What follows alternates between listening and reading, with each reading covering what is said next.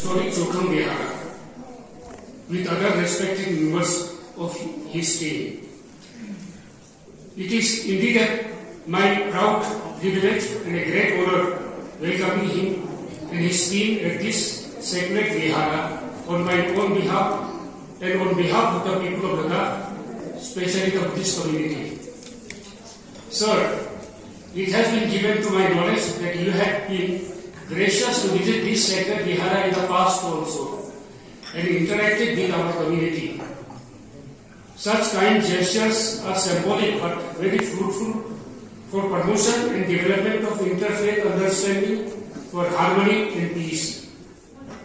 We value your kindness and feel indebted for such gracious gestures. Although the time given to us by the organizers is very little and short for a meaningful interactive session with scholars other important members and the honorable member of our Central Working Committee that have gathered here to present dialogues. The Ladakh Buddhist Association values such opportunities and shall always welcome and work to promote such events. Holiness, the Dalai Lama has visited Ladakh several times and shall hopefully continue to do so in future too. His Holiness made it a point to visit Second, Vihara shall surely go as one more valued edition of an event in this direction. Sir, we are very aware of the struggle of, the powerful Pahlavi dynasty and had secured a popular and beneficial system for your people. Our own struggle in Ladakh to get rid of an oppressive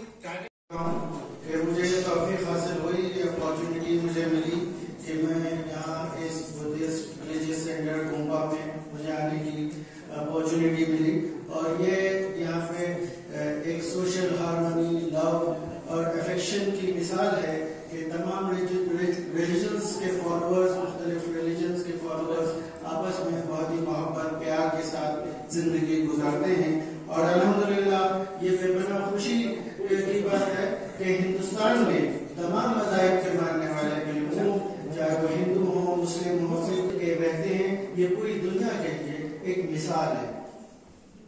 اما نکته ای که می‌خوام تنظیم کنم N است که بین همه ادیان یک مشترکاتی وجود داره که این مشترکات بسیار قابل توجه است و خود ما در طول این برای اینکه صاحبان ادیان و نسبت به مشترکات خودشون بتوانند واقف بشن معرفت پیدا کنند it's. The 150 year old church building, so which was built literally with mud. And uh, we have kept the old building because we, feel, we really believe in heritage properties and uh, to maintain it. So. Um, um, as I said this morning also, the Bible is all full of Persia, Iran. If you look at the Old Testament, we just study the Persian history the times of Daniel, the times of Esther. These were vibrant prophets, and even Jesus grows. You know, we are coming to that that state of realization where where God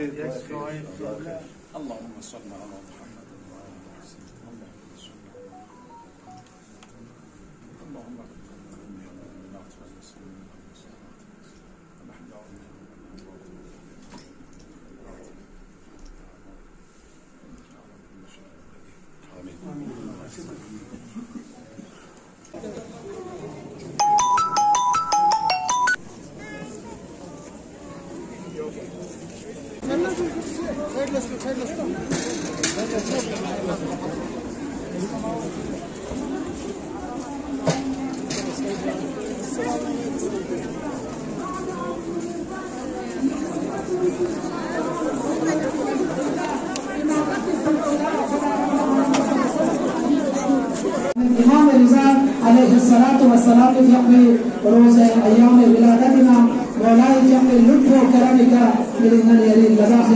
مسجد یعنی کہ احسن بنیاد چاہسوں دست مبارک حجت الاسلام والمسلمین آغا مہدی مہدور پور و نماینده ولی فقیه در سلسلت الذهب را ایراد کردن.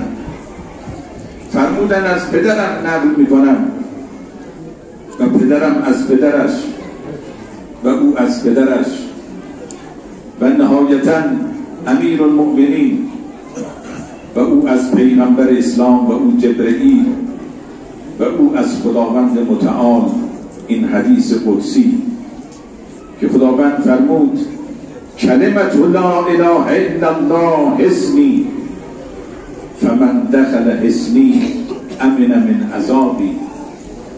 یعنی کلمه لا اله الا الله یعنی توحید اون دژ من است. و هر کس که وارد این دژ توحید بشود، از عذاب الهی در امان خواهد بود. علماء اور محدثین جمع تھے اس حدیث سلسلت الزہب کو بیان کیا۔ اس میں امام رضا علیہ السلام نے فرمایا کہ میں نے اپنے والد ماجد سے سنا۔ اور انہوں نے اپنے والد سے اور انہوں نے اپنے والد سے اس طرح کے یہ سلسلہ امیر المومنین تک پہنچا۔ اور حضرت امیر المومنین نے پیامبر اسلام سے اور پیامبر اسلام نے جبریل امین سے اور جبریل امین نے خداوت عالم سے۔ لہذا یہ وہ حدیث ہے جو سلسلے سلسلے تو ذہب کہی جاتی ہے، جس کا مستقل سلسلہ خدا تک پہنچتا ہے۔ اور یہ حدیث قدسی ہے کہ جس میں خدا مند عالم فرما رہا ہے کہ کلمہ لا الہ الا اللہ، در حقیقت یہ میرا قلعہ ہے۔ این موضوعی که امام هشتم علیه السلام مطرح کردند یک موضوع بسیار مهمی است اون چیزی که اصل و اساس دین ماست توحید است. اما یک مرتبه ما اعتقاد به توحید داریم اما در مرتبه بعدی توحید در زندگی ما پیاده می شود و ما وارد این دژ توحید می شویم. این دومی است که سازنده است یعنی موحد می شویم.